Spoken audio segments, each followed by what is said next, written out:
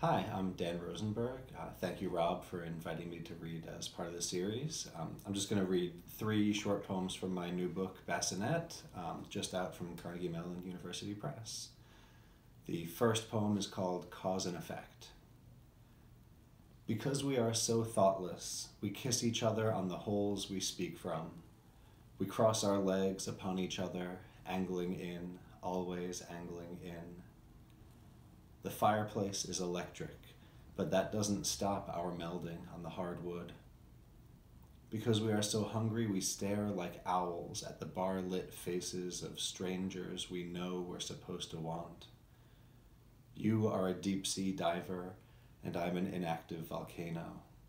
You are a starfish, and I'm a rash from a wetsuit. You are four honeymooners, and I'm the blonde walking by. Because we are so close, our fingertips catch. You plunge us into the ocean. I speak in bubbles. You grow a shell, and I'm the grit in your mantle. We irritate each other. We produce a pearl. The second one is called Is It Astronomy or Astrology? Tired as old honey, I've sunk my faith and fortune to the footwell and slumped, head on the wheel as if by thinking I could change direction. As if the stars were steadfast in the sky, worth driving by. Bright wife, I snipe and rake, I silence, smartass, I know. The hippie preacher yesterday said to be ourselves, but I want for you a better man than me. Here is the limit of my good husbandry. He's asleep in the car seat, and I'll park here and breathe, bring my little corner of our world back to right angle, and when our sun stirs, I'll call him softly into his body, serve him like a map to a better map, to manhood more complete, to you, our small nebula our wet penny moaning his way back to the car now, to me, staying, waiting for him, so we can leave the parking lot and totter up to you. And this, this will be the last poem. It's called The Stapler. For the hole in the aorta of our nation, I've got this stapler.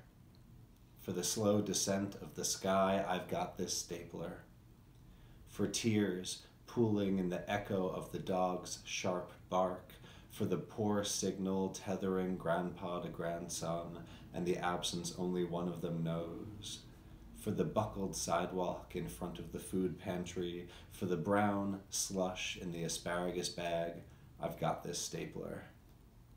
Good news, democracy. Good news, rhinos. I've got this stapler. Sometimes in the small blizzard above my desk, two papers will briefly separate and there is joy. Sometimes even the wallpaper corners peel out into the room and I know my stapler isn't what's called for, but it works. It works for now. I watch the lightning batter the clock tower and I grip my stapler. I watch the blood moon rise. With it, the dead are rising with no particular desires, as if they've exited the elevator on the wrong floor. My father's father wanders up to me, working a familiar hat in his bony hands. He spins it slowly. His mouth is a cave of light. I rise from my desk and my head is in the blizzard.